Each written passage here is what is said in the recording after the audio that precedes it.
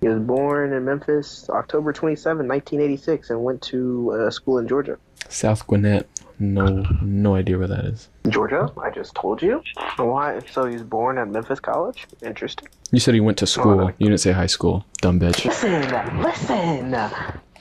Yeah. You know, school is like college too, right?